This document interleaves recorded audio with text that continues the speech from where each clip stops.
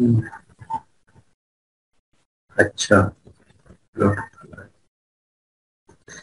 And if we're talking about the population ecology, uh, these are every year they are asking about the RL key selections, concept of metapopulation, genes, and dispersal, intergenic uh, extension, age structure, population. So following are the main type of defense implied by the prey species against predator. This was the question asked. Uh, prey and predator related. So they have given the type of defense adopted by the prey species right तो होते हैं ना जैसे अगर आपने देखा होगा तो there are certain species grasshopper sea horses है ना? बहुत सारे एनिमल्स हैं लिजार्ड इवन गर्ल्स तो बहुत डरती हैं लिजार्ड से। आप भी डरते हो? ये क्वेश्चन आप देख पा रहे हो? हाँ सर। तो ठीक है।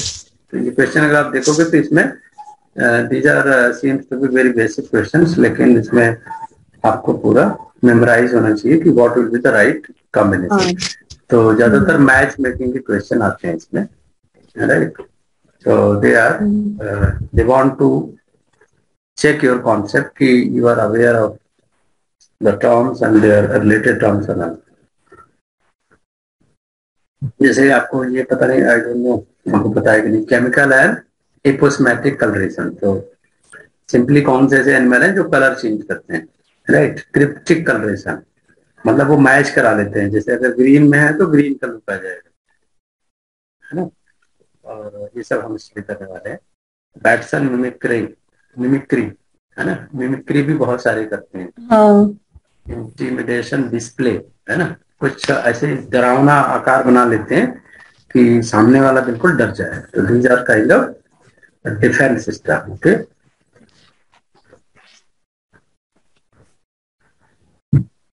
तो chemical and aposematic coloration this related to bombardier beetles ladybird beetles many butterflies and QM क्यू का वन से रिलेटेड क्रिप्टिक कलरेशन दस अपर and sea horse right And आर का टू and mimicry, overflies and wasp. कोई साइंस नहीं है इसमें. This is fixed science. हाँ. मतलब थियोरी है पूरा से हाँ बस बस पूरा रटने वाला है इसमें स्कोरिंग है हाँ, मतलब इसमें आपका गलत होने का चांस नहीं है there is no calculation hit and you can get तो सबसे ज़्यादा स्कोरिंग मुझे सबसे इजी लगता है ये यूनिट हम्म। टेन ठीक है ना तो अगर मुझे हाँ। मौका मिले तो मैं यही पढ़ू और यही पढ़ाऊँ हाँ। ये मालिकुलर बायोलॉजी वगैरह तो चलो अब कोरोना ने ऐसा कर दिया है कि you have to study everyone has to study about that ठीक है ना? कि अब कोरोना का नया स्टेम इंडिया में भी आ गया। तो अभी देखो जो ऑफलाइन कोचिंग है सारी बंद हो जाएँगी। मेरे ख्याल से मिड जैन तक बंद हो जाएँगी। क्योंकि वो केस ठंड में रुकना नहीं है है ना? और बढ़ेगा ही। बिकॉज़ ऑफ़ ट्रांसपोर्टेशन तो ये क्या करेंगे ब्रेक लगा देंगे फिर ट्रेन पे सब जगह है ना एंड फटाफट सारी फिर बंद हो जाएगी क्योंकि इसका जो इन्फेक्शन रेट है ओ माइक्रॉन का this is hundred time more infection than और अभी तक के डेल्टा हम्म। हम्म। अभी तक के जितने दिन मैंने आज अपना जो व्हाट्सएप स्टेटस है उसमें डाला था कि सबसे हम्म। बड़ा किंग है अब तक का जिसमें फिफ्टी हाँ, हाँ, देखा था। और 32 म्यूटेशन तो केवल इसके प्रोटीन में हुई है। तो आज एक डिस्कशन हो रहा था कि रियली क्या ऐसा हो सकता है कि जो हमने वैक्सीन ली है तो वो इफ़ेक्टिव होगी कि नहीं होगी? मतलब सेविंग होगी कि नहीं? तो अमेरिका ने उसका एग्ज़ाम्पल दे दिया कि हम्म। अमेरिका ने सबको बोला है कि तीन तीन चार चार बूस्टर डोज लगवाओ जिसको बचना है। इसका मतलब they have sequence the genome and they reach on the conclusion कि ये स्ट्रेन काफ़ी खतरनाक है। जब इन्फेक्टिविटी इतनी ज़्यादा है तो डेथ रेट भी ज़्यादा होगी नहीं। ठीक हो गया। ठीक हो गया ठीक हो गया। तो वही मैं कह रहा हूँ कि अभी जो इन्फेक्टिविटी रेट है वो हंड्रेड टाइम है और केरला में एक डॉक्टर इलाज कर रहा था ऐसे पेशेंट का। एंड uh, वो इमीडिएटली इमरजेंसी में चला गया ठीक है ना? उसको आनंद फानंद में देखे तो अच्छा अच्छा हाँ। तो जैसे इसमें पाँच दिन का है हम्म। मैंने अभी साइंटिफिक डिस्कशन किया था कि कितने दिन का क्वारंटाइन चलेगा। फाइव डेज़ में सिम्टम आ जाते हैं लेकिन कुछ केसेस में तो इमीडिएट आ रहा है। जैसे अभी इन्फेक्शन हुआ और एक घंटे में हाँ हाँ। आ गया। हम्म। कर्नाटका में तो अभी हो गए और पाँच लोग वो प्राइमरी हाँ, कांटेक्ट में आई गए हाँ, वो लोग भी पॉजिटिव आ गए। चंडीगढ़ में केस रिपोर्ट हो गया जहाँ पे मैं रहता हूँ पंजाब में और दिल्ली तो हब है। इंटरनेशनल फ्लाइट्स वहीं आती हैं सारी। महाराष्ट्र सेंट्रल हब है वहाँ पे भी काफ़ी केस मिले हैं। तो पैनिक सिचुएशन तो मतलब अभी देखो 25 दिसंबर आते आते बन जाएगी। अभी से गवर्नमेंट ने गाइडलाइन देना स्टार्ट कर दिया सारी चीज़ें।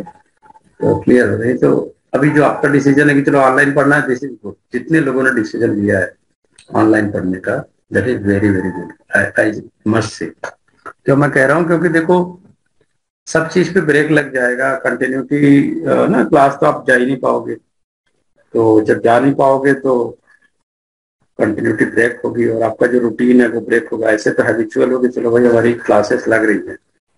राइट और आपको भी पता है कि क्या चीज़ें होती है online is more comfortable and more safe है ना किसी से गाली गलौज हो जाए तो कम से कम लड़ाई नहीं होगी ऑनलाइन में डिस्कनेक्ट करो खत्म करो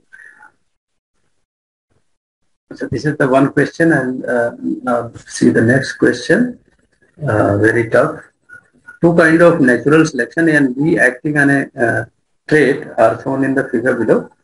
In each, the top graph shows the trait frequency before and the bottom graph frequency after the action of natural selection. Frequency trait ठीक है ना this is the kind of natural selection in A and B natural selection Darwin ने दिया ही था आपको पता है but uh, इन्होंने इसको थोड़ा हाईटेक कर दिया है दे आर आस्किंग अबाउट कि which one is directional which one is disruptive based on the graph must tell है ना? तो ए और बी दो सिचुएशन हैं जिसमें से कि आपको बताना है कि one is the directional one is the disruptive one is the neutral one is the uh, stabilizing and uh, what are the region? तो natural selection you know kind of pressure जैसे मॉस्किटो है तो mosquito के लिए when uh, scientist has spread a lot of DDT, so a new kind of species arrived uh, for the mosquito that was very difficult to kill. तो इसको क्या बोलेंगे? तो आप एक गेस कर सकते हो बाई द एग्ज़ाम्पल इकोलॉजी में हमेशा याद रखना you to remember the example है ना? कि जैसे इन्होंने कहा कि two kind of natural selection A and B acting on a trait किसी ट्रेड को एग्जीक्यूट कर रहे हैं। नेचुरल सिलेक्शन का दो प्रेशर है दिया ए एंड बी कहते हैं each the top graph shows the trait frequency before पहले and bottom graph frequency after तो पहले जब प्रेशर नहीं पड़ा था, यानी नेचुरल सिलेक्शन नहीं था तो पहले का सिचुएशन है ए और दूसरा सिचुएशन है बी आफ्टर है ना? Before and bottom graph frequency after the action of natural selection right kind of natural selection and B क्या होगा? राइट तो सी हम्म, में ये। कहते हैं ए स्टेबलाइजिंग होगा एंड बी विल बी क्योंकि तो स्पीसीज की संख्या अचानक घट गई। अगर आप देखो तो जब प्रेशर बी अप्लाई हुआ तो अचानक से घट हाँ, गई हाँ. फिर वो बढ़ने लगी। तो that you can correlate with the DDT DDT जब अप्लाई। हुआ था तो एग्जैक्टली द सेम सिचुएशन होती है Now you can see uh, four different species concept are given below. Uh, इन्होंने स्पीसीज कॉन्सेप्ट पूछा है स्पीसीज यू नो काफ़ी हम लोगों ने नाइन से रटना शुरू कर दिया था व्हाट स्पीसीज है ना तो पढ़ना पड़ेगा। कई बार आप पढ़ोगे तो you can figure out the exact answers species separate based on their use of different ecological niche नीचे का देखो नाम आ गया, है ना? है ना? काफ़ी मतलब किस तरीके से हमें पढ़ाई करनी है, किस तरह का सिलेबस तैयार करना है and what will be the content हमने आज नोट्स भी बनाया हुआ था पिछली बार का तो। वो भी ओपन किया हुआ विल अपलोड दैट आपको दो लेवल की स्टडी करनी पड़ेगी इसमें। एक तो basic terminology right? Basic level, basic ah. concept, and then application part. And all these questions are from the application part, okay? So what you can see, four different species concepts are given below. Species separated based on the use of different ecological needs, niches and their presence in different habitats and environments, right? Differences in physical characteristic or molecular characteristic are used to distinguish species. Species are distinct if they are, are reproductively isolated. ठीक है phylogenetic tree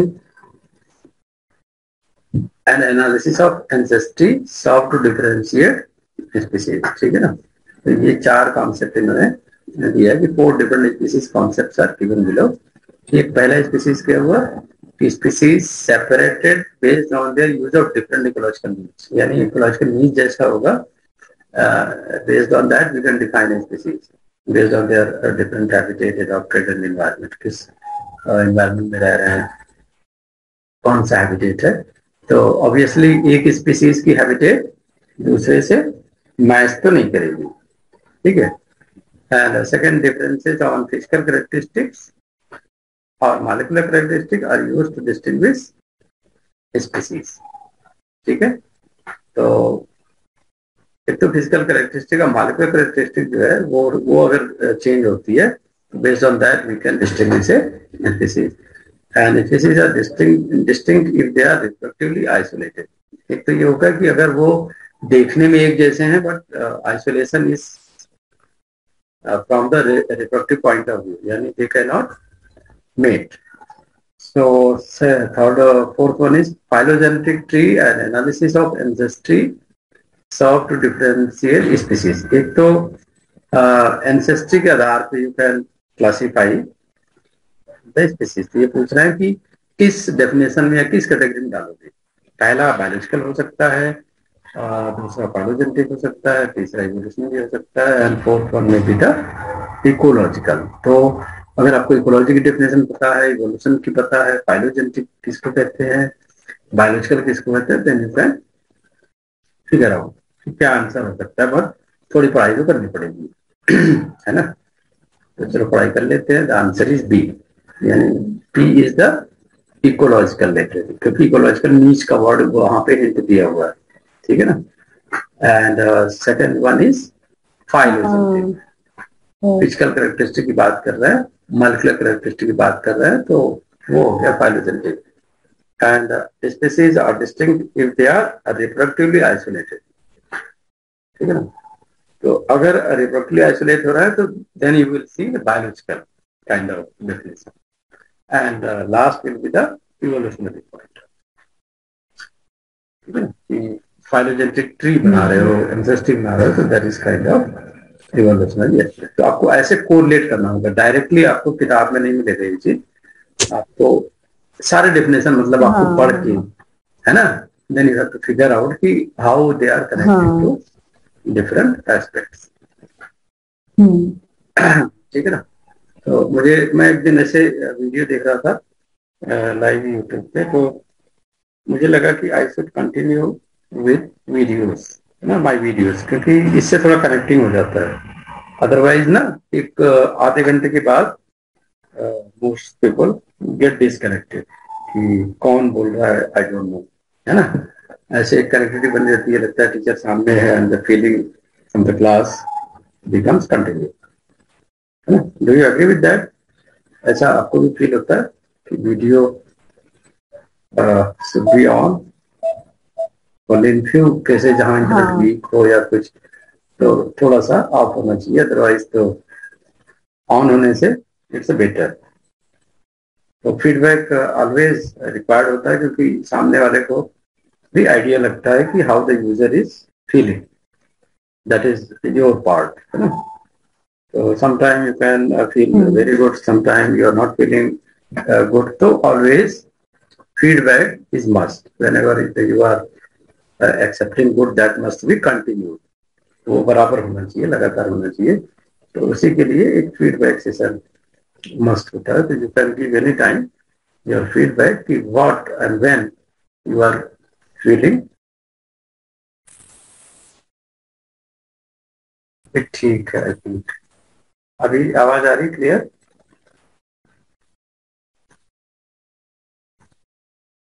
so uh, there was some problem of internet क्योंकि मेरे wifi से मेरे ख्याल से connect नहीं था तो that's why this was a problematic तो ये आपने देख लिया ये question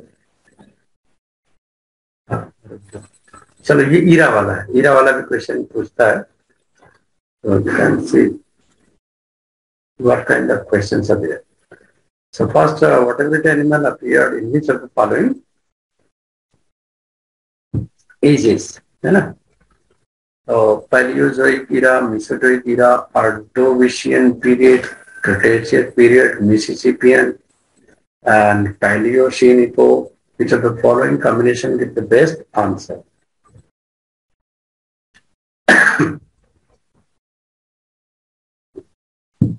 ठीक है? तो ये भी आपको आइडिया नहीं होगा। तो ये भी रखने वाला ही है इसमें कौन सा बेस्ट है। पहली जो कीरा में से जो एक छह ईरा दिया वो इनको अरेंज करना है कि which of the following geological ages है ना? कौन से जियोलॉजिकल एजेस में कनेक्ट करते हैं। मैं एडवुड टू बेटा?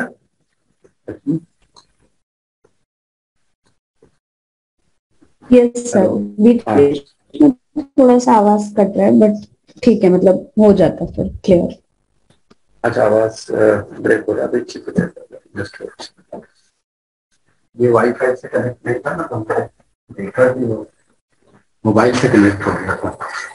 तो मोबाइल का तो वैसे एरियल ट्रांसमिशन डिस्टर्ब रहता है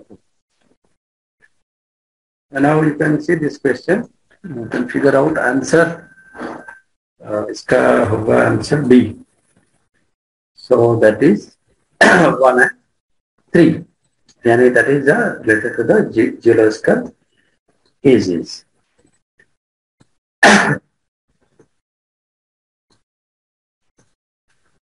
ठीक है ना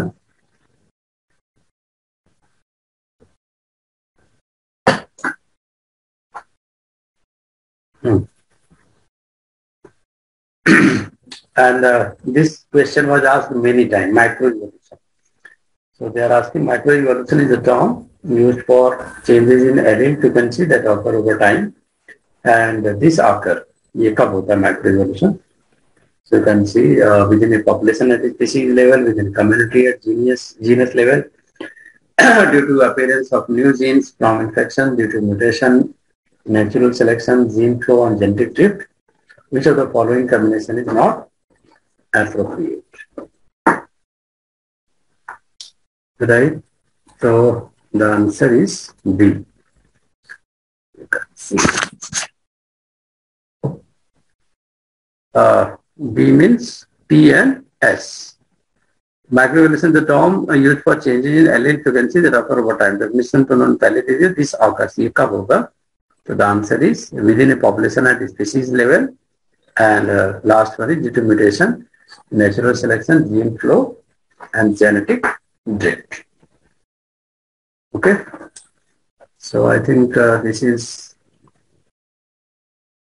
और एक तरह से ये भी देख लो question some important event in the history of life on earth तो इस तरह से भी क्वेश्चन आते हैं just I am giving you idea कि अगर आप चैप्टर पढ़ोगे तो what you have to keep in mind हमसे कोई ने पूछा कि first word date first plan matching वाला क्वेश्चन मैंने बोला भी था कि ज़्यादा आते हैं इसलिए आपको उस हिसाब से अपने माइंड को मेकअप करना है डेटा को तैयार करना है। तो first vertebrate first plants forest of forms and conifers amphibians arise insect radiate uh, conifers dominant dinosaur arise insects radiate uh, flowering plant appear climax of dinosaur followed by extinction tradition of flowering plants most modern mammalian order are represented and the ice ages modern human appears match करना है कि the one is related to Silurian second में related to Permian third में related Triassic मतलब आपको सारे ईरा के आपको क्या एनिमल थे उनको याद करना जैसे मेमोरीज इस पे मूवी बन चुकी है ना मेमोरीज और, और आप इस समय केरला में आई थिंक कहाँ पे हो? तो किसी जू में आसपास अगर जा सकते मैं हैदराबाद गया था अभी आई विजिटेड जू तो हम्म। आपने हैदराबाद शायद विज़िट किया भी होगा कभी। वहाँ पे बहुत फ़ेमस जू है। और वहाँ पे आई वॉज़ सरप्राइज़ की इंडिया में मैंने कहीं नहीं देखा था। आ, वहाँ पे रेप्टाइल वर्ड है। है ना? अच्छा। और बहुत ही ब्यूटीफुल था। मतलब कोई ऐसा एनिमल जो बुक में आपने पढ़ा है रेप्टाइल हम्म। और वहाँ पे ना हो अगर वो ज़िंदा है आपके तो है ना? दैट वाज पार्ट मुझे बहुत अच्छा लगा। तो मैंने एक कॉन्सेप्ट डेवलप किया वहाँ पे कि आ, मैं चलो आया था अपने ऑफिशियल काम से लेकिन अपने बच्चों को या अपने स्टूडेंट्स को जो भी है उनको सजेस्ट करूँगा। अपने बच्चों को मैं कर ले भी आऊँगा। समर में because summer is the best part in Hyderabad cool एक तो मौसम होता है temperature is not too hot and easily you can move around है ना? मूव हाँ। कर सकते हो। पंजाब में तो अभी ठंड पड़ी होगी ना अच्छी। यहाँ तो एक्सट्रीम ठंड पड़ती है ना हाँ. क्योंकि we are close to the Himalayan मतलब इधर पहाड़ी हाँ. है। पूरा। तो कितना है टेम्परेचर उधर? इधर इस समय टेम्परेचर तो अभी ठीक है अराउंड एटीन टू ट्वेंटी रहता है नाइट में। तो this is almost AC summer का हाँ, है वो इस टाइम पे है ट्वेंटी टू वाली हाँ। हाँ है ना? अच्छा। हैदराबाद में मैं गया था तो there was cool twenty two twenty five के आसपास था। हम्म। तो वहाँ का जू इसीलिए मुझे लगता बनाया गया कि टेम्परेचर जो है all over the year is the same तो उनके हम्म। लिए एलिफेंट भी था। रेप्टाइल में तो जितने भी स्नेक्स थे सारे थे। और लिजार्ड आपने अभी छोटे छोटे घरों में देखे होंगे है ना? या कहीं बाहर देखेंगे वहाँ बड़े बड़े हाँ। लिजार्ड थे। वहाँ पे सोचो एक डॉग होता है ना कुत्ता। वैसे हाँ। लिजार्ड थे वैसी छिपकली थी। है ना? हाँ। मतलब मार्वेलस और जो पानी के मगरमच्छ होते हैं है ना? वो तो ऐसे लेटे हुए थे कि मतलब अगर वहाँ बाउंड्री वाउंड्री न लगी होती तो हम लोग को पता भी नहीं लगता कि ये मगरमच्छ है। लेटे हुए हैं पानी के किनारे और ऐसे लेटे हुए थे जैसे लग रहा था फर्श बिछे हुए। मतलब आराम से चढ़ जाते हैं और वो खा भी जाते हैं आपको। है ना? पार्किंग हुई थी जैसे एक आधे किलोमीटर तक मगरमच्छ मगरमच्छ थे। तो वो कलर उनका वैसा ही था ना कि जैसे बैकग्राउंड में डस्टी टाइप का था। हाँ। कलर का। तो पता ही नहीं लग रहा था वो कि क्या है। अरे क्लोज आके देखा देन आँखें तो फटी रह गई। बाप रे इतने रेप्टाइल्स लायन लायन वो वाला लायन देखा था जिसको रियल लायन कहते हैं। टाइगर वाले लायन नहीं तो टाइगर वाले अलग होते हैं। लायन देखा था जो किंग होता है। है ना तो वो मूवी में देखा करते थे तो वहाँ पे देखा। बहुत ही मज़ा आया बहुत ही मज़ा आया। द होल डे भी एंजॉय तो एक जिराफ भी था वहाँ पे, बड़ा सा जिराफ था। उसको बुलाया, हम लोगों ने आ रहा था धीरे धीरे धीरे धीरे एकदम।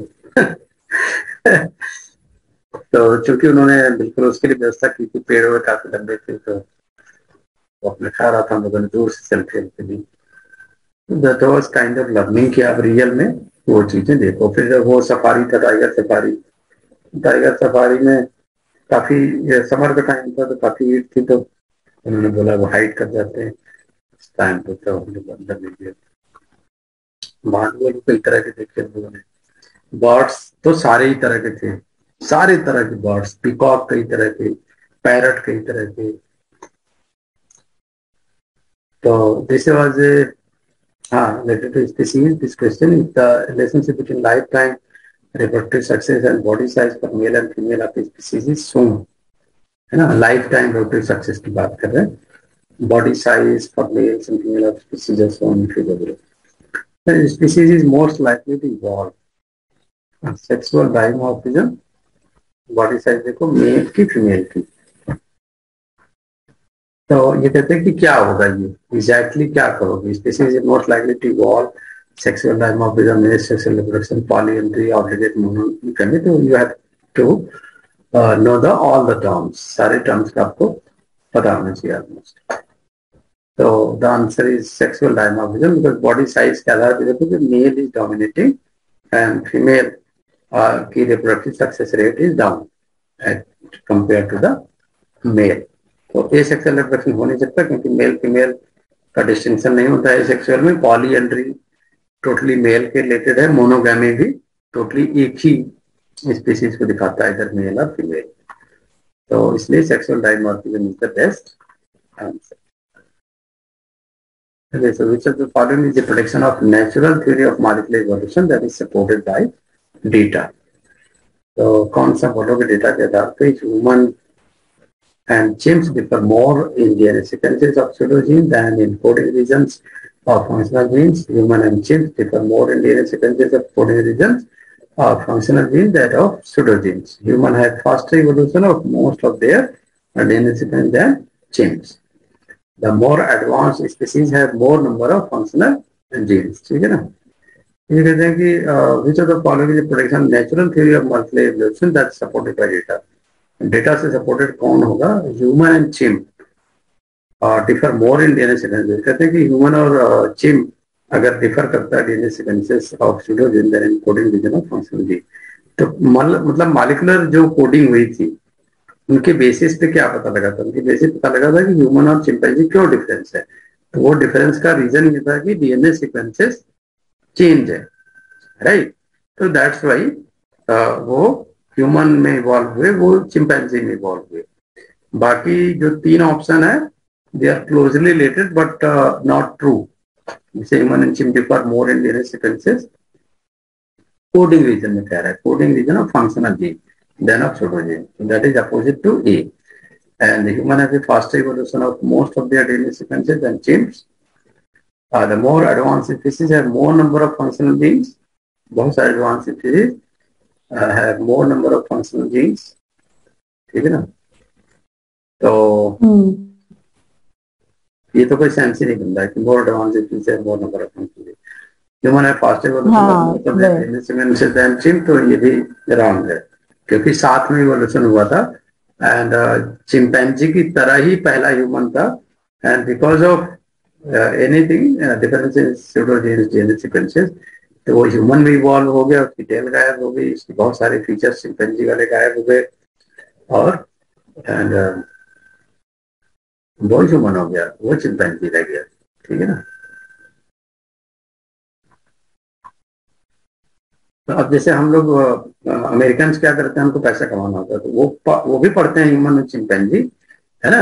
वो भी उतनी ही पढ़ाई करते हैं, बट वो पिक्चर बनाते हैं कि भाई ये चिंपैंजी वर्ड है, अगर वो ह्यूमन की तरह होते तो कैसा होता? एक मूवी बनी थी, काफ़ी पॉपुलर हुई, पूरी वर्ल्ड वाइड पॉपुलर हुई थी, है ना? किंग चिंपैंजी किंग या ऐसे कुछ नाम था उस मूवी का तो उसमें वो दिखाते हैं कि ये चिंपैंजी सारे इकट्ठे हो गए उनके रिसोर्सेस खत्म हो गए खाने खत्म हो गए तो उन्होंने ह्यूमन के ऊपर हमला किया है ना तो एक ह्यूमन था वो जानता था उनकी लैंग्वेज हाँ। की तो वो गया डील करने ऐसे मूवी हाँ। बना के मतलब पूरी दुनिया सोचते हैं कि हाँ आप क्या होगा क्योंकि बाकी जो आजकल मूवी बनती है तो most of sequences are similar story similar होती है, वो पता ही होता है। है ना? लव स्टोरी है, उसका भी ऐसा पता है। कोई मर्डर स्टोरी मिस्ट्री है, वो भी पता होता है सबको। बट अभी एनिमल के ऊपर कोई मूवी बना दो तो वो बहुत ज़्यादा लोग देखते हैं। क्योंकि उनको कुछ भी पता नहीं होता कि आगे क्या होने वाला है। तो पूछ एलियन से बना देते हैं। That is तो habitat means concept of habitat will discuss shortly what is the habitat habitat the area और natural environment in which an organism population normally lives जहाँ पे रहते हैं तो that may be belong to separate habitat of each animal like human living in houses plant जंगल में रहेंगे living species भी जंगल में रहेंगे animal of course So before studying uh, the habitat and niche at advanced level, we should go to know some ecological principles like what is the ecology, what is the biotic factor, what is the biotic अगर biotic है तो living thing की बात कर रहे हैं biotic है तो uh, environment की बात कर रहे हैं simple right uh, this is simple the study of interaction between organism and the environment is the ecology and environment have two parts biotic and abiotic so if you see this is an individual organism right.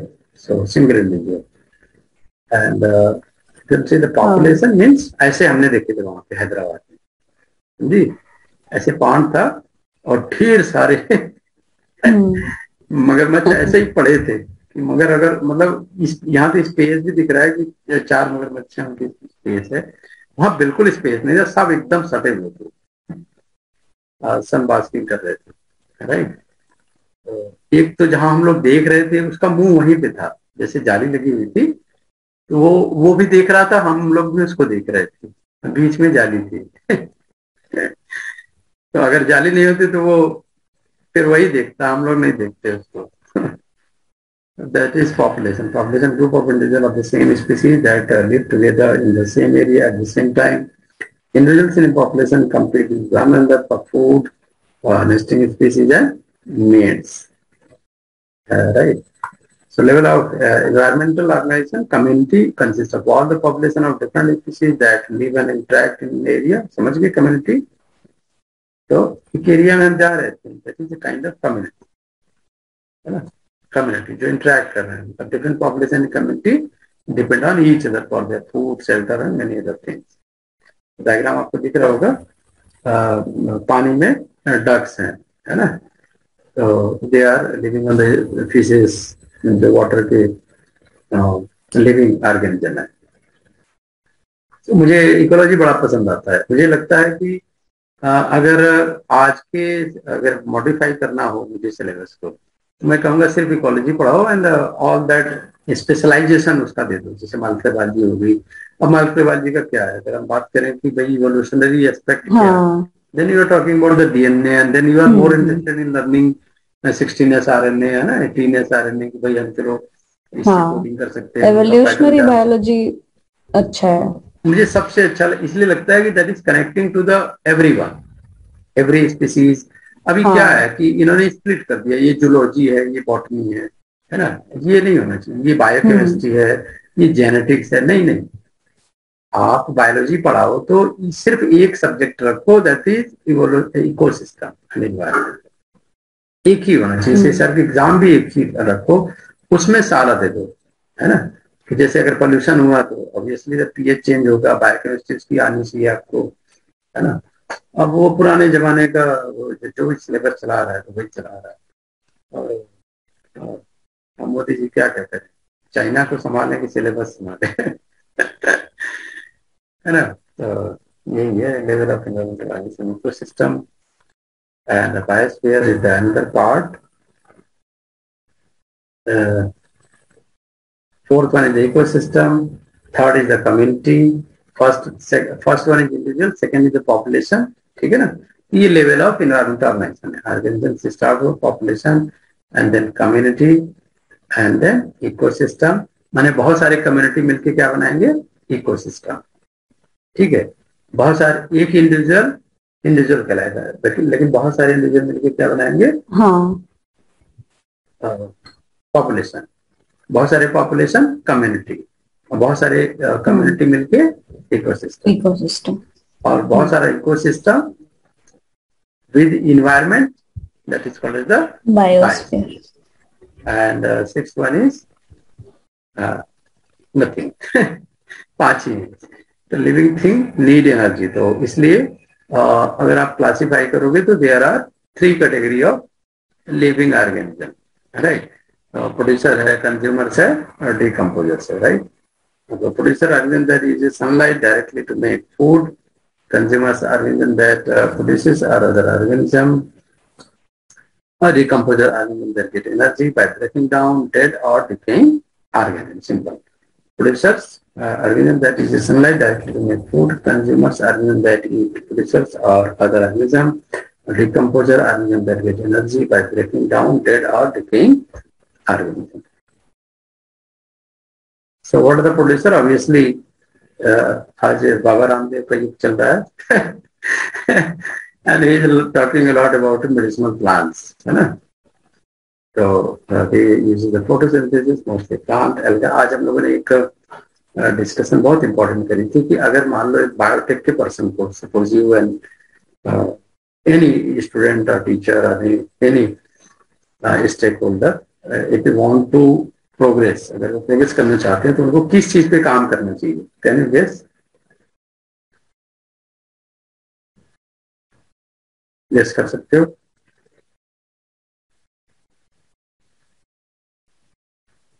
No idea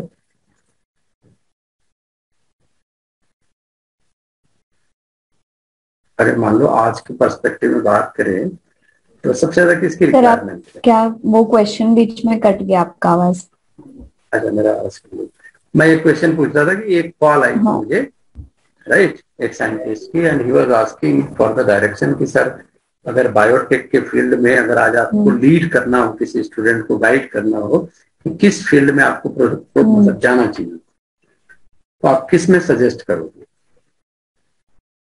किस field में आप जाना पसंद हम्म। करोगे पसंद तो चलो अलग चीज़ है आज की डिमांड के हिसाब से पसंद तो बहुत सारी चीज़ें होती हैं जब हम सारी चीज़ पढ़ रहे हैं तो हमें सारी चीज़ पसंद है हमारी पसंद हाँ। का तो हाँ। कोई मतलब है नहीं अगर जैसे कोई बच्चा बोलता है कि भाई मार्केटबाजी टेक्निक में आ, हमें पसंद है तो मैं कहूँगा कि आ, तो, तो ये तो टेक्निक वाली फ़ील्ड होगी टेक्नीशियन वाली फ़ील्ड होगी मतलब लाइफ टेक्नीशियन बन सकते हो मार्केटबाजी पढ़ के एग्जैक्टली exactly आप क्या चूज़ करोगे कोई फ़ील्ड चूज़ करोगे ना बायोलॉजी का कोई फ़ील्ड चूज़ करोगे जैसे एक एरिया हो गया मेडिसिन है?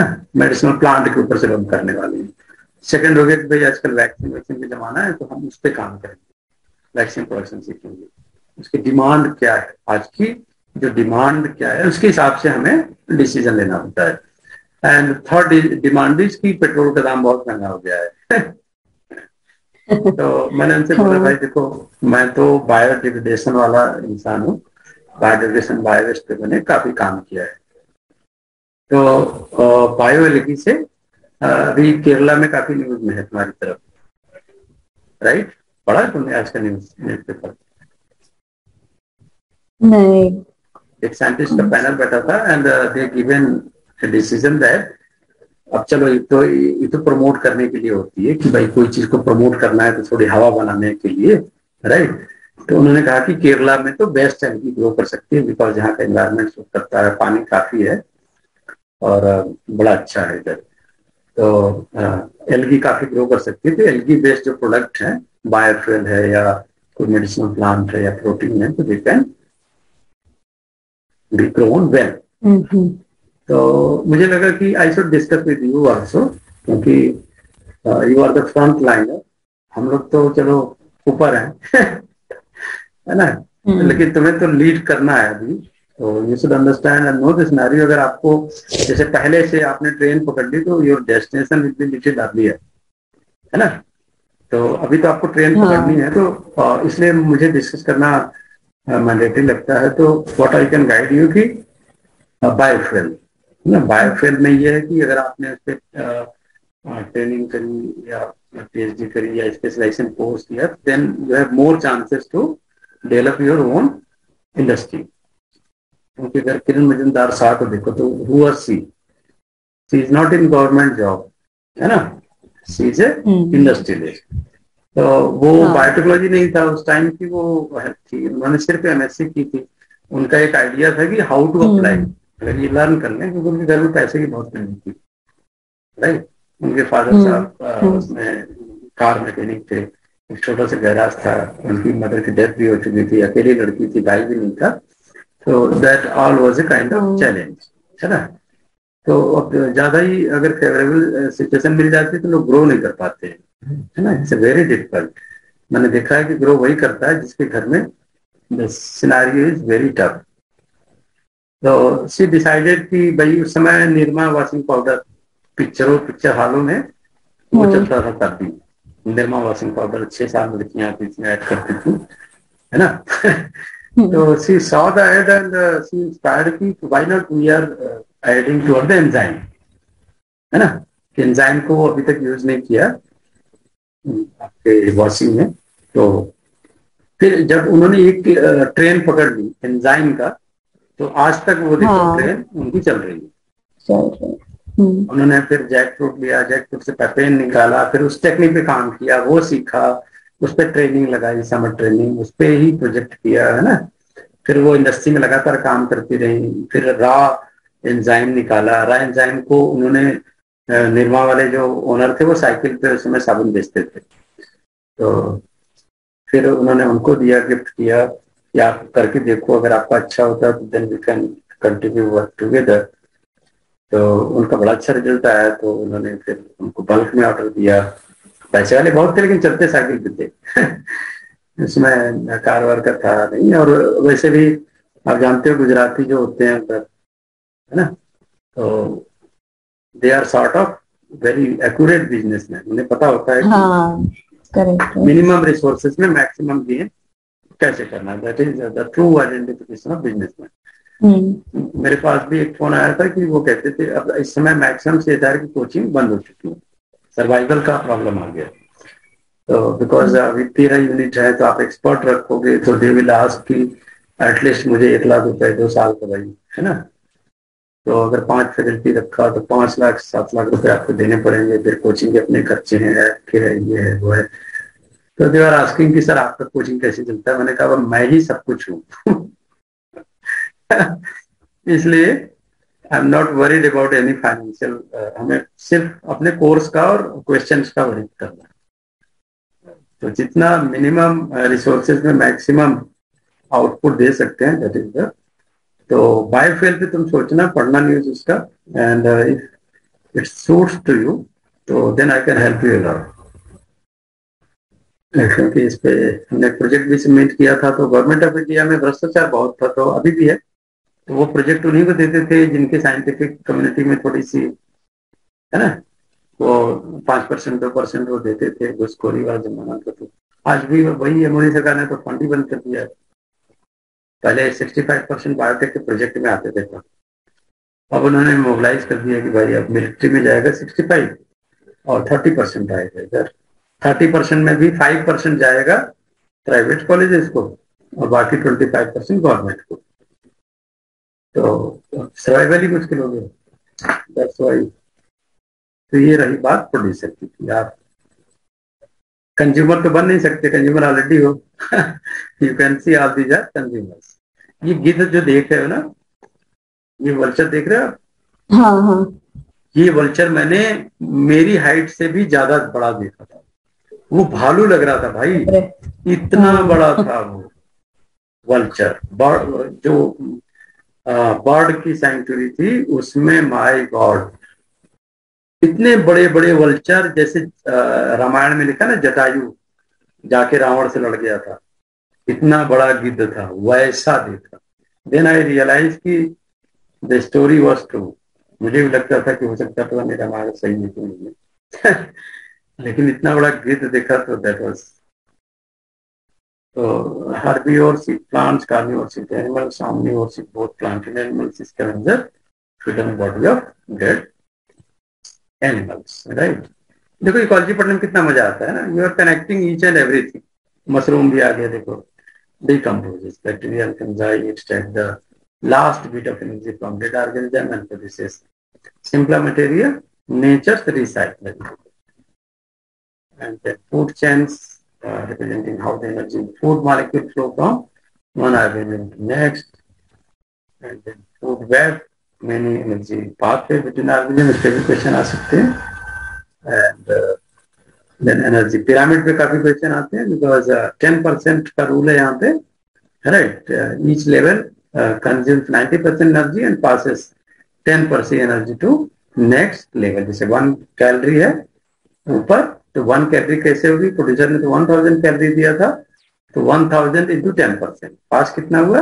हंड्रेड हंड्रेड का टेन परसेंट टेन और टेन परसेंट का वन तो इसलिए देखो, जो फ्लाइंग एनिमल है, उनके पास एनर्जी बहुत ही कम होती है तो habitat and niche environment in which animal lives, and niche and organism with environment, right? So that is called as the niche So until its habitat, food predators uh, food predators, organism which it competes, how the organism affect and is affected by biotic factors in its environment.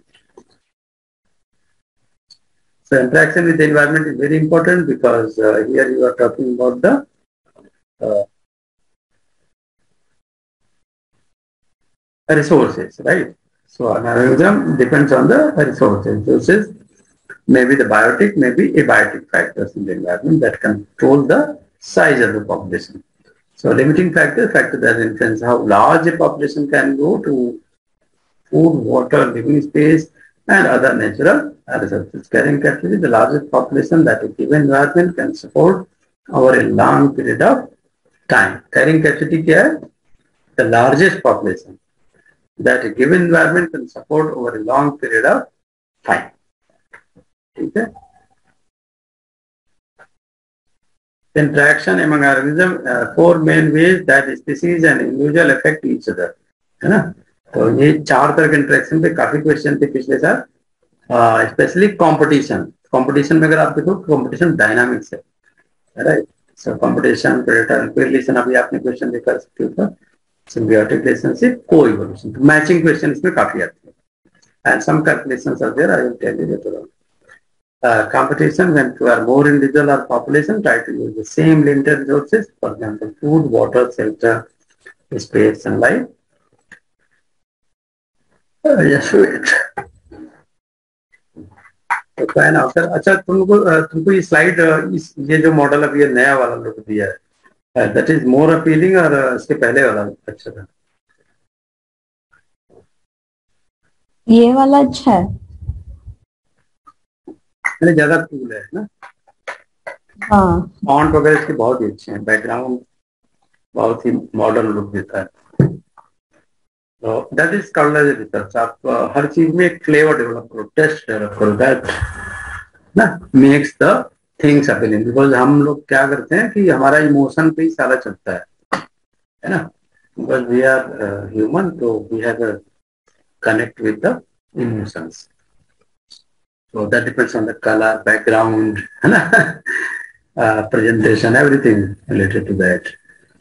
अभी वो technology भी आ रही कि जैसे cinema hall में बैठते हो तो आपको रियल फीलिंग आती है कि वहाँ पे क्या है भाई ऐसे चल रहा है सम फ्रेग्रेंसेस आते हैं तो इंटरनेट से भी आएगा कि आपको हम यहाँ से जो भी सेंट यूज़ करेंगे आपको वहाँ पे भी अच्छा फील होगा।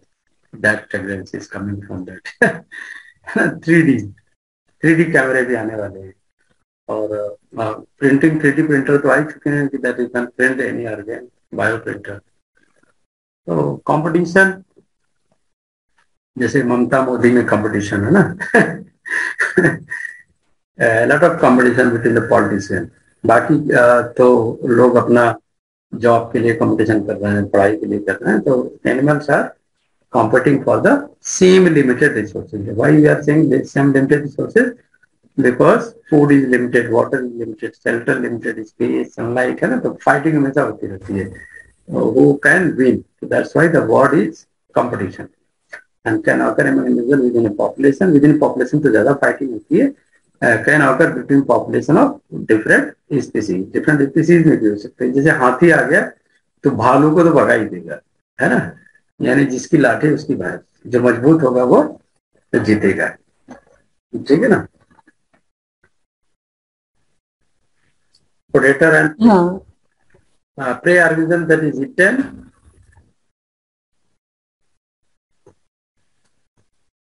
predator organism that is the prey predator adaptation canines claws camouflage speed prey adaptation chemical combat camouflage speed uh, triggering false features and mimicry मैंने अभी डिस्कस किया था ना तो prey that is eaten and predator that is eating so predator they have some uh, features uh, that's why they are successful like canines presence of claws camouflage and speed तो अगर आप देखोगे आजकल human में ये सारे feature आते हैं ना ह्यूमन काफ़ी ईट खाता है ना मीट खाता है जबकि कैनाइन है नहीं है ना तो क्लास है ना? कैमोफ्लेग आदमी झूठ बोलता है तरह तरह के ड्रामे करता है दैट इज़ कैमोफ्लाज स्पीड भागते रहता है इंसान आजकल, है ना? तो इंसान क्या हो गया? Predator prey adaptation like chemical combat camouflage camouflage हमको तो बताया, आपको हाइड करते हैं अपने आप को, है ना? कलर से मैच करा लेंगे तो दिखेगा ही नहीं। केमिकल कॉम्बैट मतलब some chemical they are releasing है ना? फ्रॉम देयर आईज और फ्रॉम देयर स्किन तो जैसे एक ड्राई एक वेट फ्रॉग होता है ड्राई फ्रॉग होता है ना? तो अगर वेट फ्रॉग को पकड़ोगे केमिकल नहीं निकलता है। लेकिन अगर ड्राई फ्रॉग को आपने पकड़ लिया they are releasing lot of chemicals and that is very poisonous speed तेज़ी से भाग देंगे जैसे लायन और हिरन का रेस आपने देखा होगा। और mimicry this is called the trick है ना? कि जैसे मान लो लायन आ गया तो अब जो एनिमल है वो दूसरे तरह की आवाज़ें तरह तरह की आवाज़ें निकाल रहे हैं Symbiosis, close long-term association between two species, three main groups, mutualism, commensalism, and parasitism. Okay. So that is the best part.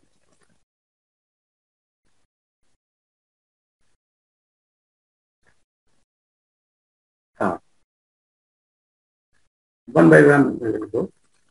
Uh, for example, if you're talking about the mutualism, mutualism में question आया हुआ था कि symbiosis mutualism है कि नहीं and there examples कि कौन कौन से हैं रियल म्यूचुअलिज्म है ना है कि नहीं है तो definition you must know then you can the new situation then so a symbiotic relationship in both organisms benefited is called as the mutualism, right? You and a species of bacteria in your intestine is symbiotic relationship because both are getting benefited. Oral and LV. तो पहले तो doctor क्या करते थे antibiotic मतलब किसी भी doctor को मैंने देखा आज से पाँच साल पहले जब तक रामदेव का इतना प्रभाव नहीं था सब लोग धुआंधार दवाई एंटीबायोटिक हेवी डोज है ना ना पागल होके डॉक्टर क्या करते थे they were using and not uh, keeping aspect of all these symbiotic relationship है ना? तो अभी देखो लैक्टोबैसिलस का काफ़ी पॉपुलर हो गया। जब एंटीबायोटिक देते हैं तो हेवी डोज लैक्टोबैसिलस का भी रिकमेंड करते हैं। राइट अभी आपने देखा होगा। और मैं हूँ जैसे तो एंटीबायोटिक तो बहुत एक्सट्रीम केस में लेता हूँ। Because once you are getting habitual of antibiotics आपने देखा होगा एक बायोटेक्नोलॉजी में या सी एस आर में बड़ा पॉपुलर क्वेश्चन काफ़ी सालों तक था what is the resistant developed by the bacteria है ना?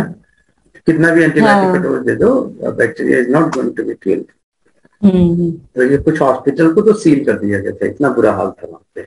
Over infection because of mismanagement of waste तो जो बायो वेस्ट है उसमें ज़्यादा प्रेशर पड़ गया इकट्ठे हम्म। होते गए बायो वेस्ट मैनेज नहीं किया तो प्रॉब्लम हुई। तो देखो, मोदी ने भी जब स्टार्ट किया अपनी प्राइम मिनिस्टरशिप तो वो भी इन्वायरमेंट से शुरू किया, सफ़ाई अभियान, है ना? भाई थोड़ा सफ़ाई रखो। दैट वॉज़ अगर वो तो this is not a common term ecological term सफ़ाई रखो, है ना? मेकिंग द बैलेंस मुझे लगता है कि बायोलॉजिस्ट ने अभी थोड़ा सा डेवलपमेंट नहीं हुआ इंडिया में। जितने भी सीनियर बायोलॉजिस्ट हैं, उनको इस पर ध्यान देना चाहिए कि भाई सारे सब्जेक्ट का सारांश यही है and all the diversion is belongs to the environmental biology. है ना? इकोलॉजिकल बायोलॉजी इन्वायरमेंटल बायोलॉजी जो भी आपको कहना है they are connecting each and everything कि सर्वाइव मतलब आप बच्चे को ये भी सिखा रहे हो आप, आप अकेला बात नहीं पढ़ा रहे तो उसको ये नहीं समझा रहे सर्वाइव कैसे करना लेकिन अगर आप इन्वायरमेंट पढ़ा रहे हो है ना? कि भाई देखो संस्कृत में वेदों में एक श्लोक है वो मैंने पढ़ा था। तो मुझे लगता है कि जैसे मान लो अब आप या कोई भी एक्स वाई जॉबलेस हो जॉबलेस मतलब आपके पास कोई काम नहीं है राइट तो देन क्वेश्चन इज़ कि हाउ यू विल सर्वाइव लेकिन अगर आपको इन्वायरमेंट में ये पता है कि जीवस से जीवस जीवनम यानी हर जीव इकोलॉजी में यही कहते हैं ना कि every species is dependent on other species right एक जीव दूसरे जीव को uh, जिला सकता है यानी प्लांट इज़ प्रोड्यूसर यही प्रोड्यूसर कंज्यूमर वाला कॉन्सेप्ट है ठीक है ना? जो हमारे वैदिक साइंस में around fifteen hundred years back जो इन्होंने ये कहा था कि एक जीव दूसरे जीव जीव का साधन होता है। यानी अगर ह्यूमन को सर्वाइव करना है तो you should be enriching your biological diversity जैसे आप एग्रीकल्चर में चले जाओ फ़िश फ़ार्मिंग कर लो, है ना? जैसे मैंने एलगी बोला एलगी में आप क्या कर रहे हो? केरला में तो already the environment is suitable अगर आपने घर में ड्रम ले लिया, उसमें एलगी ग्रो करा ली सक्सेसफुली तो अब एलगी में एल्गल आयल होते हैं। हमें तो सिर्फ़ उसी एलगी को आइडेंटिफाई करनी है, जो कि एनरिच हो एल्गल आयल से है ना? तो अब क्या है कि अगर मान लो हमने दस टन अगर ग्रो करा दिया, वो ग्रो हमें क्या, उसके साथ दौड़ना थोड़ी ना ठीक है ना? वो क्या होगा वो तो आपने मीडिया डाल दिया। है ना? अब मीडिया भी उनका क्या है? नदी का नदी का पानी डाल दिया सी वाटर डाल दिया वेस्ट डाल दिया, है ना? जो घर का किचन वेस्ट है, पानी, वो डाल दिया वो आराम से सर्वाइव करके ग्रो कर जाएँगे and they you can harvest after one और two week that is your biomass biomass मतलब आपने इकोलॉजी पढ़ ली तो you can survive well not only you are surviving well आप जितने इंडस्ट्रियलिस्ट देखो, वो क्यों परेशान है? जैसे आपने क्लोथिंग टेक्सटाइल इंडस्ट्री खोल दी तो अब इन्वायरमेंटल वाला आपको परेशान करेगा, है ना? कि भाई जो डाई यूज़ कर रहे हो बहुत टॉक्सिक है, उसके लिए आपने क्या इंतज़ाम किया? ठीक है? बाबा रामदेव कहते हैं भाई हमने ऐसा डाई निकाला जो नेचुरल डाई है। है कि नहीं? तो वो कलर को केमिकल है ही नहीं है तो वो इन्वायरमेंट को नुकसान ही नहीं करेगा। राइट तो अभी क्या है ना हाँ. कि जैसे दस अगर आपको इंडस्ट्री खोलने जाओ तो at least five to ten central agency are there जो आपको पूछेंगी बार बार है ना? जो आपको पूछेंगी। कि एग्जैक्टली भाई, आप बताओ इन्वायरमेंट का आपने ध्यान रखा कि नहीं बायोडिग्रेडेबल बायोडिग्रेडेशन का ध्यान रखा कि नहीं, कोई ऐसी चीज़ तो नहीं जो टॉक्सिक फ्यूम्स निकलती हो टॉक्सिक केमिकल को निकलती अरे भैया तो इकोलॉजी पढ़ा दो ना बायोलॉजी वालों को बीएससी से। सारे सब्जेक्ट खत्म करो। है कि नहीं? नाम अलग अलग मत दो। Ecology part one part two part three कर दो। है ना? किसी का नाम रख दो इकोसिस्टम किसी के नाम बायोडाइवर्सिटी किसी के नाम। मतलब ऐसे सब्जेक्ट हो तो वो मज़ा भी आता पढ़ने में बिकॉज़ यू कैन कनेक्ट अब अब अगर मान लो एक ट्वेल्थ का बच्चा है, वो डॉक्टर बन रहा है, अगर उसको इकोलॉजी पढ़ाते हो, उसका बायोलॉजी का टर्म चेंज कर दो ना बायोलॉजी वन बायोलॉजी टू क्यों करते हो आप? इकोलॉजी सीधा रखो। इवोल्यूशन आप स्टार्ट करते ही हो चैप्टर है ना? उसमें क्लासिफिकेशन आप बताते ही हो बायोडाइवर्सिटी आप बताते ही हो। फिजियोलॉजी बताते ही हो। और अगर उसका नाम अगर आपने सिस्टम रख दिया understanding ecosystem and ecology तो बच्चा भी ये अच्छे से कनेक्ट करेगा है ना? कि जीव है तो सर्वाइव कैसे करेगा? तो जैसे हाँ। आपने मेटोलिज्म पढ़ा दिया कि बैक्टीरिया इन योर इंटेस्टाइन तो वो एंटीबायोटिक अगर डॉक्टर बनेगा तो कम से कम एंटीबायोटिक तो नहीं देगा हाई डोज है ना? और देगा तो वो ख्याल रखेगा तो अच्छा डॉक्टर बनेगा। तो that's need of the hours कि थोड़ा सा जरा फॉरेन पॉलिसी से दूर हटके अपनी पॉलिसी बनानी चाहिए, अपनी एजुकेशन रिक्वायरमेंट के हिसाब से, है ना? तो वो अच्छे इंडस्ट्रियलिस्ट भी बन पाएगा बच्चा, क्योंकि वही बच्चे को फ्यूचर बनाना है, वही सी को इंडस्ट्री खोलना है, उसी को स्टार्टअप खोलने and he is none of the aware of the environment तो ये थोड़ी प्रॉब्लम आज मैंने ब्लूटूथ का इस्तेमाल किया है। हमने थोड़ा वायर वाला ना छोड़ देते हैं, देखते हैं आज। कैसा रिस्पॉन्स है कॉमर्शियलिज्म symbiotic relationship in which one organism benefit and the other organism is unaffected अब जैसे भैंस के ऊपर कौन चढ़ा हुआ है देखो पूरी ज़बरदस्त भैंस बफेलो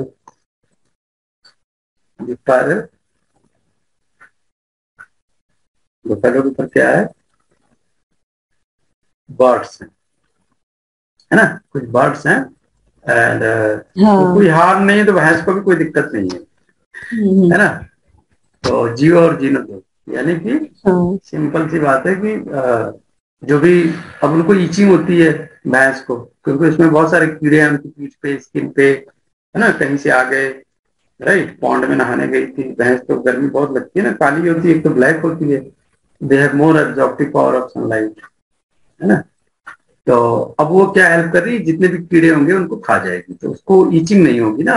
हमारे पास तो हाथ है क्लॉज है नेल्स है ना? हम सबका इस्तेमाल करके हमने कर लिया ईचिंग भाई यहाँ पे कीड़े है, वो है, हटा दिया। ठीक है? बट भैंस क्या करेगी? तो भैंस को कॉमर्शियलिज्म का ही सहारा है। सार्क एंड रिमोरस राइट दूसरा एग्ज़ाम्पल तो सार्क के साथ अगर you can see there is another organism stick to it ठीक है? ये छोटी सी एक फ़िश देखोगे अटैच है उसके माउथ से? है ना? तो ये साग तो बड़ी खतरनाक होती है, सबको खा जाती है।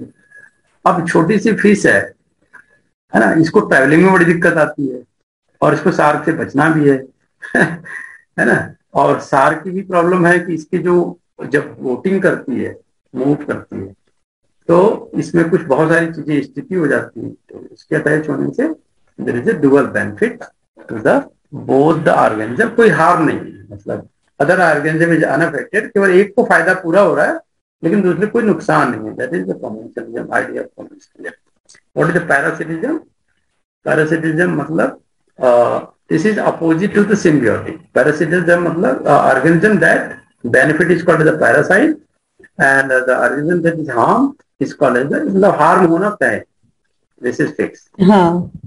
होस्ट को हार्म होगा होस्ट पे पैरासाइट हाँ हाँ। जैसे टोमेटो एंड वेज हाँ। अब ये वाले कीड़े होते हैं गोभी में लग जाते हैं टमाटर में लग जाते हैं बहुत सारे वेजिटेबल्स में लगे रहते हैं वो ग्रीन कलर के होते हैं।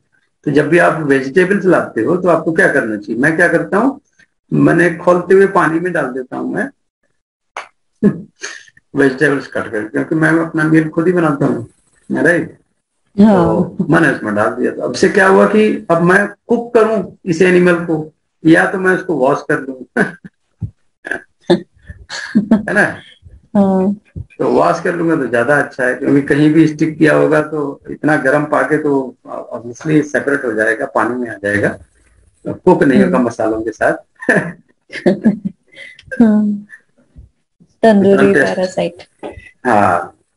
तो इतना समझदारी आती है जब इकोलॉजी के आप बहुत ही क्लोज हो। ना we are going to understand coevolution अभी आएँगे माइक्रो इवोल्यूशन पे। है ना? तो आपको धीरे धीरे थोड़ा सा एडवांस की तरफ़ जाना coevolution long term change that take place in two species because of their close interaction with one another yucca moth and yucca plant flowers and their pollination, epicea tree and epicea ants.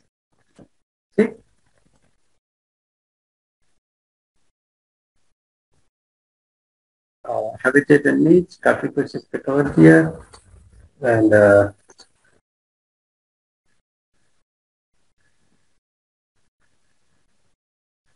uh, niche. What is the niche? How organism living in ecosystem. Definition you must know. अब ये देखो ये क्या है you can see this picture this is amazing picture यहाँ पे क्या कर रहा है ये लिजार्ड मगरमच्छ मगरमच्छ ने मुँह खोला हुआ है। वो चाहे तो बर्ड को खा जाए है ना? वो चाहे तो बर्ड को खा जाए लेकिन बर्ड को हाँ। खा नहीं रहा है। क्यों? हाँ। क्योंकि बर्ड उसकी हेल्प कर रही है। कैसे हेल्प कर रही है? बहुत जब वो मीट मीट कैनाइन देख रहे हो? बहुत बड़े बड़े है ना? हम्म हम्म हम्म। जब वो मीट खाता है तो उसके निचले वाले जबड़े में मीट बहुत सारे फंसे होते हैं। वो निकालना उसके हाथ तो हाथ तो है नहीं निकाल ले है ना? हाँ वो निकालेगा कौन? तो वो मुँह खोल देता है और बर्ड आती है उसको नोच नोच के। हाँ हाँ। जो मीट होती है उसको निकाले जाती है। That is beautiful aspects of meat this is the role species play in ecosystem and how they are surviving तो ये बर्ड का स्पेशली वो मगरमच्छ के ऊपर ही डिपेंडेंट है।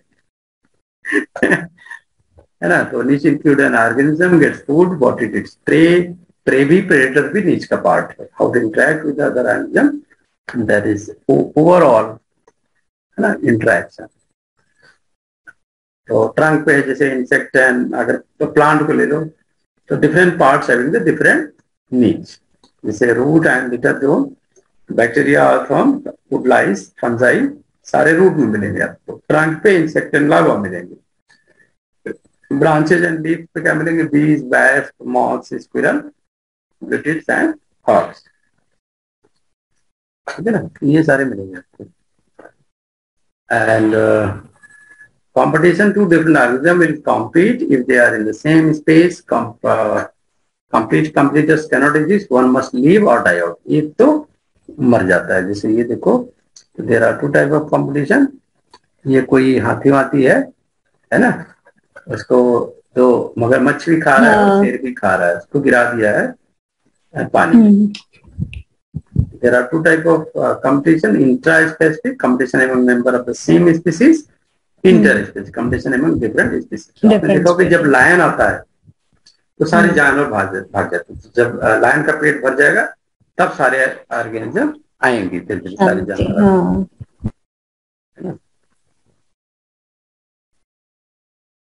So an organism whom is called its चलो बताओ टेस्ट लेते हैं। ऑर्गेनिज्म होम को क्या बोलते हैं?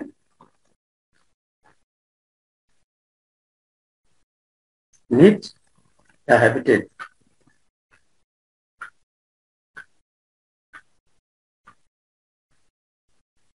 बोलो। Role of job and called its niche है ना? तो वो हैबिटेट हो गया। Organism home is called as habitat ठीक?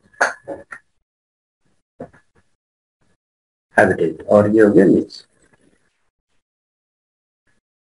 टाइप ऑफ़ कंज्यूमर्स अभी उसको बता चुका हूँ समझाइए तो रिलेशनशिप बिटवीन स्पीसीज ये कल हम लोग पढ़ेंगे राइट इंट्रैक्शंस एंड देन ये प्रेडेशन कंपटीशन थोड़ा और रिटर्न करेंगे who is the predator who is the competitor है ना? तो और क्लियरिटी आ जाएगी। हंटर प्रेडेटर कहते हैं प्रे तो आज थोड़ा सा बताएगी आपको। एंड uh, इसका एक रिलेशनशिप आता है काइनेटिक्स आती है पूरी है ना? कि जैसे कि एक्सपेरिमेंट किया था एक साइंटिस्ट ने कि जब भी प्रे बढ़ेगा है ना? प्रे बढ़ेगा यानी जिसपे डिपेंडेंट है प्रेडिटर तो उन्होंने एक साइकिल बनाई राइट एक साइकिल बनाई कि प्रे बढ़ गया तो प्रेडिटर भी बढ़ गया। तो प्रेडिटर ने सारे प्रे को खा लिया। ठीक है, सारे प्रे को खा लिया। तो अब चूँकि खाना ही खत्म हो गया तो सारे प्रेडिटर भी मर गए राइट तो फिर प्रे बढ़ गया। That was a unique cycle discuss feeding animal it's a plant मुझे लगता है यह सबसे ब्यूटीफुल बायोलॉजी का पार्ट है इज़ इकोलॉजी एंड इकोसिस्टम है ना? और, हमेशा इसी को पढ़ाना चाहिए। कभी भी बोरिंग ना बनाओ बायोलॉजी को ना मतलब हम लोगों ने अल्टरनेटिव टू मैथ लिया था। कि चलो मैथ में तो अच्छे हैं नहीं तो बायोलॉजी से काम चल जाएगा। बट इतनी बोरिंग वे में सारी सिलेबस ऑर्गेनाइज है ना कि वो पढ़ने में मज़ा नहीं आता। जैसे अगर आपको इवोल्यूशनरी एस्पेक्ट पढ़ाना है तो मल्टीप्लाइजी डिस्कस कर लो फिर वो आराम से पढ़ लेगा बंदा। है ना? हाँ। आपको अगर थोड़ा सा बताना है कि what is the medicinal important तो ये पिक्चर तो बहुत अच्छी है एप्पल खा रही लगती competition relationship where organism compete for resources food light water shelter भालू लोग के लड़ रहे हैं देखो दो भालू चिंपैंजी सिम्बियोटिक रिलेशनशिप ये कितना अच्छा पिक्चर है ना। ये वाला। ठीक है? बर्ड उससे पूछ रही है हिरन हाँ। से कि भाई क्या इरादा है? दैट इज़ अपना काम करो अपना काम करते हैं दैट इज़ कॉल्ड उसको भगा भी नहीं रही है उसको प्यार से देख रही है। दोनों प्यार से देख रहे हैं दूसरे को हाथी के ऊपर देखो वो चढ़ा हुआ है डक वो भी वही कर रहा है भाई सारा उसका लाइफ एंड जो भी अर्थ फॉर्म है या कुछ भी है उसको निकाल देते सिम्बियोटिक रिलेशनशिप सिम्बियोटिक रिलेशनशिप में ये पूछा वो था प्लस प्लस होगा या प्लस ज़ीरो होगा? इसका क्या मतलब है? हम्म। तो एक स्पीसीज बेनिफिट हो रहा है इसलिए प्लस दूसरे को कोई इफ़ेक्ट नहीं हो रहा है दैट इज़ ज़ीरो अगर दोनों बेनिफिटेड हाँ, हाँ. बेनिफिटेड होंगे तो प्लस प्लस लिखोगे। तो ऐसे ने साइन देके फंसा दिया था लोगों को। हम्म। ये देख लो कि अच्छा अच्छा लुक आ रहा है बैकग्राउंड पे। मैंने मोबाइल में अपने ऑन किया है कंटेंट है ना? बहुत ही ब्यूटीफुल लुक आ रहा है। अपीलिंग आ रहा है ना? फॉन्ट एंड डायग्राम बहुत ही क्लियर आ रही है। कंट्रास्ट बहुत अच्छा मिल रहा है that is what I mean to say है। ना? यस ऐसे प्लस प्लस में सोचना है तो थोड़ा एडवांस लेवल ले जाएगा पैरासिटिज्म प्लस माइनस क्योंकि दूसरे को हार्म हो रहा है। हार्म हो रहा है हाँ। ठीक है ना? तो this is also a symbiotic relationship but parasitism will be indicated as a plus minus Hmm. तो ऐसे पूछ सकता है कि which relationship of the symbiotic relationship what is the plus zero plus zero means commensal plus minus में parasymbiotic ठीक So why do organisms live on symbiotic relationship? Obviously, the motto is very clear. For food, resources, habitat, production, transportation and cleaning. Uh, what is the co-evolution? After when species in an ecological relationship evolve in response to change in each other. Co-evolution can result from feeding relationship and in the symbiotic relationship. तो ये symbiotic relationship में ज़्यादा chances है coevolution and that is related to the feeding habit जैसे नेवला और सांप एक ही उनका दोनों का एक ही फ़ीड है बट दे आर सर्वाइव और फाइट भी करते हैं नेवला सांप से जाता है है ना? ये दूसरी पिक्चर देखो कितनी ब्यूटीफुल पिक्चर है। है ना? ये दौड़ रहा है। एंड uh, ये फीडिंग रिलेशनशिप इन दोनों के बीच में रिलेशनशिप क्या है? फीडिंग रिलेशनशिप ठीक?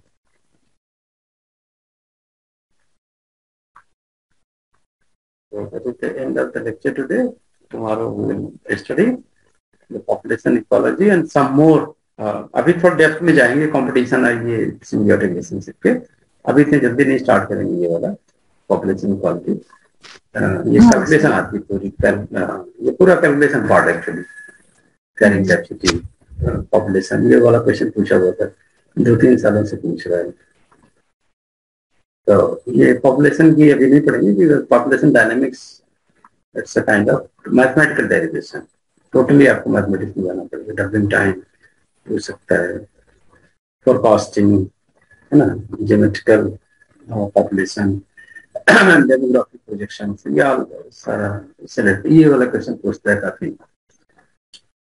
किस तरह का पॉपुलेशन है? क्या डिनोट करता है? रैपिड ग्रोथ ज़ीरो ग्रोथ अभी इंडिया का है। है ना? इंडिया का दो हज़ार चौदह में देखो। अब इसमें बड़ा सरप्राइजिंग हुआ एज ग्रुप देखो।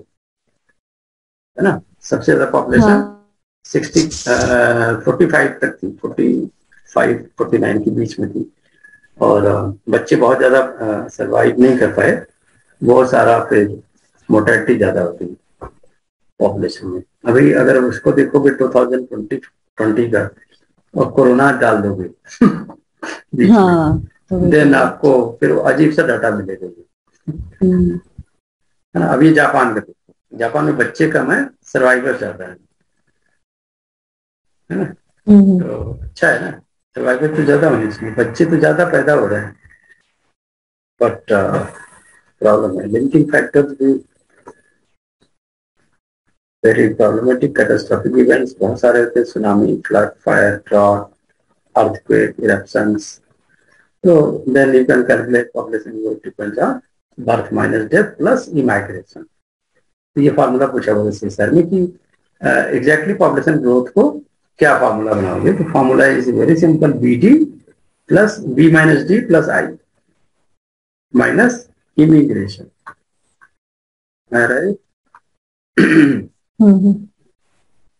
बात death immigration immigration determining population size. ये भी हम लोग पढ़ेंगे फ्यूचर में. के सेलेक्टेड स्पीसीज पे काफ़ी क्वेश्चन आते हैं. कि ह्यूमन क्या है, के सिलेक्टेड है या सिलेक्टेड है, के मतलब होता है कैरिंग कैपेसिटी राइट तो ये सर्वाइवरशिप कार भी पूछता है आपको, कौन ज़्यादा सर्वाइव कर सकता है अगर ये तीन एनिमल हो तो? ऑब्वियसली ह्यूमन तो ये रिपोर्टेड रेट के हिसाब से आर सेलेक्टेड स्पीसीज है। ह्यूमन का आज क्योंकि एंटीबायोटिक्स हैं, दवाएँ हैं मेडिकल इक्विपमेंट्स बहुत हैं तो सर्वाइवरशिप बहुत ज़्यादा है। रिप्रोडक्टिव रेट भी बहुत हाई है और सर्वाइवरशिप जैसे कम्युनिटी डिपेंडेंट जैसे मुस्लिम में देखो क्या है पॉपुलेशन उनकी मैरिजेज में कंट्रोल नहीं है। पॉपुलेशन कंट्रोल बिल्कुल नहीं है राइट तो वो सब अल्लाह के बंदे हैं। उनका सारा फार्मूला एक ही होता है to define scientist that Allah ने ये कहा है, अल्लाह ने बताया है। ठीक है ना? अल्लाह ने कहा, चार शादी कर लो, अल्लाह ने कहा, बीस बच्चे पैदा कर लो। तो they are not much aware of the environment and all that मेरे ख्याल से उनको एजुकेशन पे किसी भी गवर्नमेंट को ज़्यादा फोकस करना है बट उनकी एक कम्युनिटी है जो कि चाहती है कि सारे अनपढ़ रहे, कोई पढ़े लिखे ना। जैसे तालिबान, अफ़गानिस्तान में जितने भी पढ़े लिखे लोग हैं, उनको मार देता है। ठीक है? अगर आप अनपढ़ हो तो उनके लायक हो। एस्पेक्ट तो साइंस की स्टडी इसलिए होती है कि भाई एग्जैक्टली exactly आपको पता हो कि भाई दुनिया कहाँ जा रही है पॉपुलेशन कहाँ जा रहा है बर्थ रेट कैसे कैलकुलेट करोगे? ये सारा formula death rate doubling time कैसे करोगे? ये सारे फार्मूले बेस्ड क्वेश्चन आ रहे हैं। C B CBR upon CBR formula सबका हमने फार्मूला बनाया हुआ है तो डिस्कस टुमारो डबलिंग टाइम कैसे कैलकुलेट करना है? बहुत सारी चीज़ें हैं। और बड़े आराम से आप सीखोगे। जिस पे भी काफ़ी क्वेश्चन आया है कि जैसे मैंने पे क्वेश्चन काफ़ी पूछ रहे हैं वो जंक्शन बेस जैसे ये वाला क्वेश्चन अगर आप देखोगे तो इसको कहते हैं Lincoln Petersen formula Lincoln Petersen ने एक डिस्कवर किया था कि मान लो कोई फ़िश है, मान लो 300 फिशेज हैं पॉपुलेशन है, उसमें से कुछ को मार कर दो, कुछ को कैप्चर कर लो ठीक है? और जिसको कैप्चर किया, उसको रिलीज़ कर दो, उसी, है ना पॉपुलेशन में। फिर रिकैप्चर करो. Then what you can observe what proportion of the animal in population that are मान उनकी पॉपुलेशन बढ़ी की घटी. तो लिंकन पे पिटरसन पे काफ़ी क्वेश्चन आते हैं. इसको हम लोग कल डिस्कस करेंगे. अभी तो जल्दी में जस्ट की ओवरव्यू ले लो कि क्या क्या आ सकते हैं. लिंकन पिटरसन का बहुत ही मतलब वो है. काफ़ी क्वेश्चन आते हैं. फिर स्पेसिएशन हम लोग पढ़ेंगे. following the speciation divergent. Calculation करेंगे लॉजिस्टिक ग्रोथ है ना? ये ही मैं बोल रहा था, ये वाला डायग्राम प्रे एंड प्रेडिटर का रिलेशनशिप तो this is the common question in the examination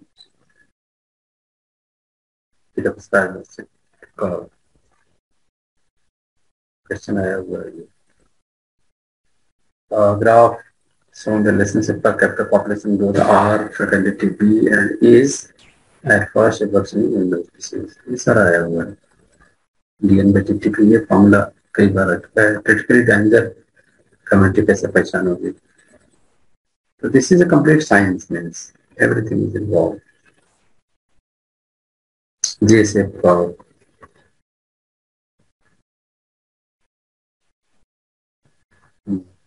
Expansion growth. Logistic curve. वैसे इसकी वीडियो बने हुए हैं, काफ़ी पढ़ाया था, लेकिन थोड़ा सा हर बार मैं रिसर्च करके नई चीज़ें डालता हूँ, है ना हर बार, जैसे इटे इटेरो पैरिटी एक नया टर्म आया सेमी सेमी क्लैरिटी तो ये सारे क्या हैं तो वी विल डिस्कस ठीक है Chalo, thank you. Good night. It's almost 11. We are ending the sessions. Thank you.